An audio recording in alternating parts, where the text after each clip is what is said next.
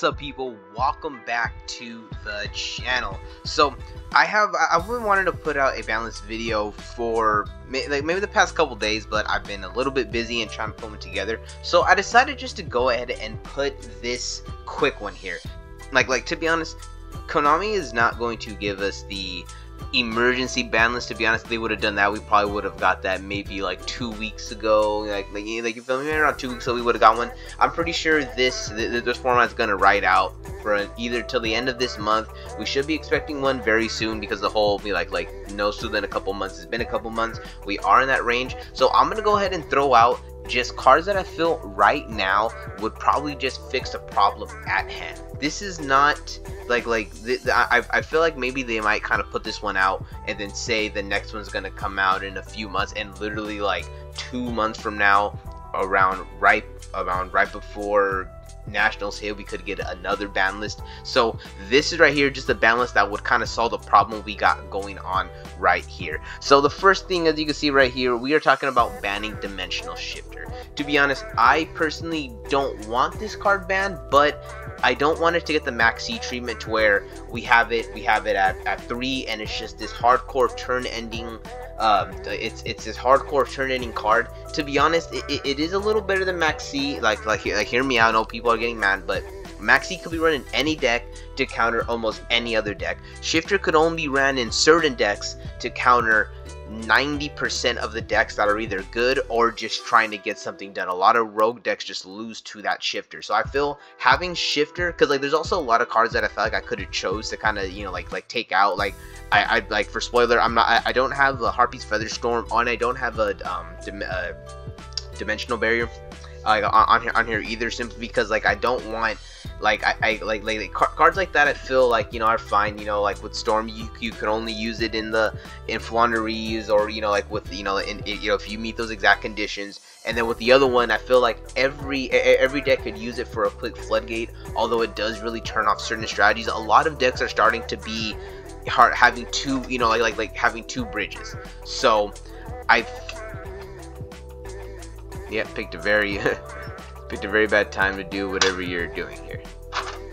Alright, anyway, so I, I feel like uh, back to what I was saying. I feel like a lot of decks have two have you know ha have two bridges to where like even if they get hit by that, a lot of them are able to go into a different route. But Shifter just completely shuts everything down, and it's like only certain decks could kind of use it. And once it's in the once it's in the format, it just kind of turns everything off. So Shifter is one of those cards that I feel like it's maybe it's the time to get the Maxx C treatment, and we're not gonna have it at one. We don't want it to be Seki, so let's just kind of go ahead and get rid of it. This is was a real toss up. So this is kind of hit or miss for certain people. Snake Eye, Snake Eye's Flamberge Dragon. I feel like banning this card would really help out to curve the power of Snake Eye. Even because like you like, like we pretty much gotta face it. Konami is going to keep the newer expensive cards, right? Like like Konami has to kind of, you know, like like like bend here or there. And I really feel like like like like Konami's gonna want to keep the Promethean Princess. Konami is going to like like e even like I was gonna think about putting World Dragon Z Zealantis, which to be honest, maybe like you could put the Ambloel on here instead of Snake Eye of Flamberge, you know, like to kind of get rid of the OTK. But I feel like if we take away Zealantis, then we're gonna take away a lot of other decks that have the ability to use that that OTK because you know like it it's it, it isn't bad to have these you know like certain OTKs, especially for like weaker decks that kind of need it.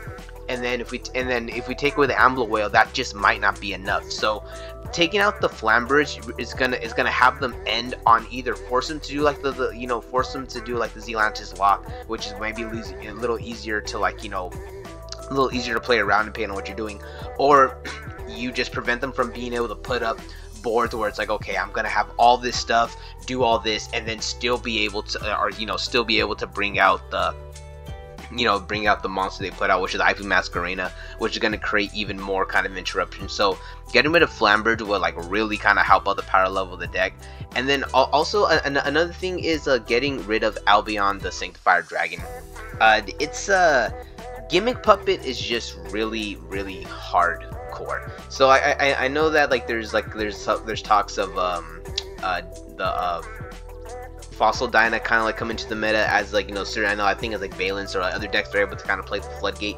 And to be honest, like uh decks like like like decks have to go through though like that much effort to get the, the floodgate out you know like it's okay like i understand you don't want like all that but it, it's a little it's a little harder to do when, when it comes to like when it comes to albion the sanctifier dragon you literally just as long as you get branded fusion you know, especially because the Voiceless Voice are really abusing it right now, and Voiceless Voice would be is would be good without the branded fusion. I really feel like getting rid of the gimmick puppet option would probably kind of get them off that and get them to running the deck the way I guess a little more pure, so that way they're not kind of adding in all the other you know extraness. So this one getting banned, I'd be kind of cool with that. Now we're gonna start with cards that I feel like need to go to one. Snake Eye Ash. So like I said, Bonfire, Diabellstar, the, the, the, the you know uh, wanted, all that stuff is not going to get hit. Pro, uh, Promethean Princess, the Poplar, that stuff is just not gonna get hit. I really feel like those, it's like the, the, those are gonna stay not like not only to keep the deck alive, but also because some of that, some of those cards could be used in engines for other decks, which kind of make the format, give the format illusion to be more diverse, even though it's just going to be Snake Eye with whatever extra small, you know, whatever extra little engine that you want to add in with it. But if we if, if we get rid of the Snake Eye Ash, it's really going to kind of bring down that consistency, along with, like I said, along with getting rid, uh, along with you know getting rid of the Flamer Dragon, and also putting the next card at one is Fire King High Avatar Kirin. So th this one I'm borrowing a bit from mst.tv like you know because like I, I i originally like i said i was just kind of putting something you know together quick and i saw this video a few days ago and i thought about it and i'm like you know what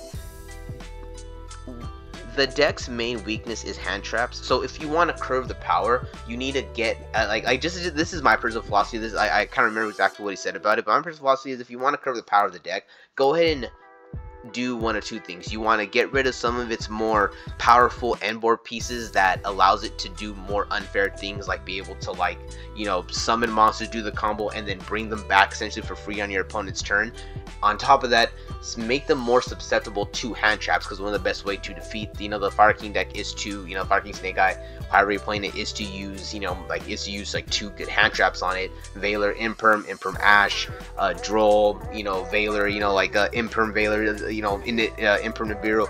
Different combinations of those hand traps are just really good against the deck and and getting rid of one of their main abilities to kind of play around it because you know this could be like quick effect target to destroy to summon it so that way they don't get hit with the hand trap would also be like a really good way just bringing it to one so that way they either have to hard draw it or they have to search it instead of another piece so that way if they choose to like you know they don't hard draw it they have to choose to like search out this protection so that way they don't just always have the potential to have like just a freaking like like like a pseudo call by the grave for their deck always in their hand. So bringing this down to one would be like I, I really do like I, I, think that would be a good idea. Summon limit. Summon limit is something that a lot of people are talking about. This is like like kind of pretty obvious. I personally don't want this to happen because I'm still a little salty about them getting rid of the other floodgates, but so far I do feel like Yu-Gi-Oh is a bit of a better place without those ones. And at the same time, Yu-Gi-Oh is also a game of you take away the best, we will find something to replace it.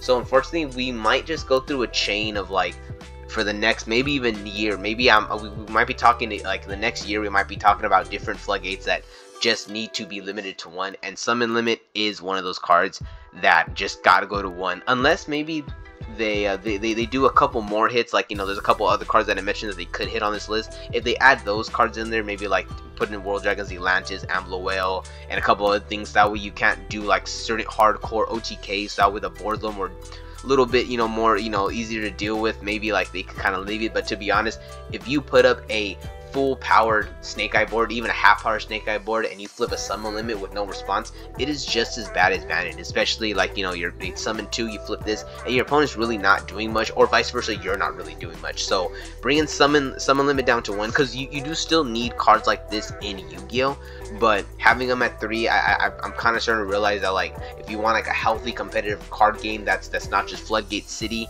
yeah, like we we kind of we need to bring this stuff down to one let's go ahead and just add anti-spell fragrance to that list. To be honest, this right here has been one low-key one of the best floodgates in Yu-Gi-Oh! It's it's always probably in the conversation of the top 10 best floodgates and it probably teeters within the top 5 depending on who you're talking to, especially because it literally shuts down an entire mechanic and pendulum. You cannot pendulum summon if you have anti-spell fragrance up. So essentially, like like like not, only can you just shut down an entire like entire like mechanics. So if you're playing Vaylantz, this just shuts down. This just shuts down like a lot of the stuff that you know like uh, like any kind of a any kind of strategy that they're they're trying to do that doesn't involve them just summoning their monsters. They're not able to put them in the. They're not able to you know like you know like you're basically not able to set pendulums. So this right here prevents them from doing any kind of strategy like that. And then it also sets the game back a lot. You are set depending on you know depending on when you set your cards and whatnot you are set back an entire turn a turn and a half.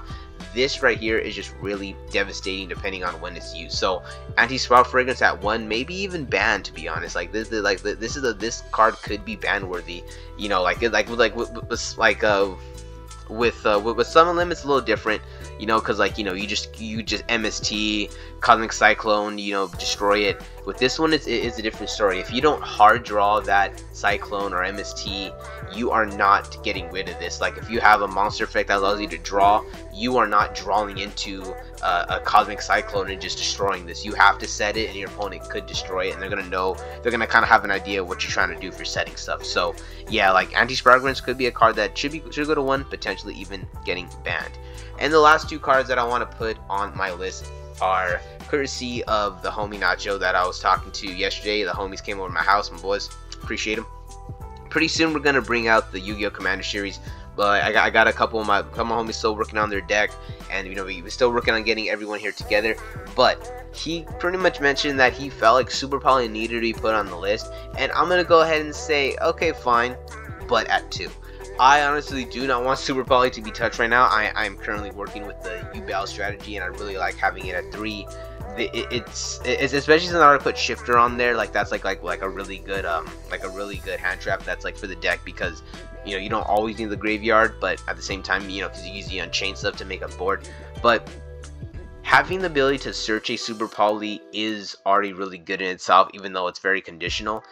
At the same time, I really feel like if we're going to have such high level Yu-Gi-Oh, even like like I said, e even if you take away the some of the Snake Eyes stuff, and then also if we do some other stuff to you know bring down voice, voiceless voice, like I have another one more card to talk about, you are still we're still dealing with a really powerful format. Like people like understand like power creep is real in Yu-Gi-Oh, but just because you power creep something, like just because you power like this, you sit there and power creep the gimmick puppet lock, but then you still have Winda. You feel me? Like there's like there's like there's still Winda. And even if you get rid of Winda, there's still other cars that, that could do similar things. So it isn't like you're always gonna get rid of these problems.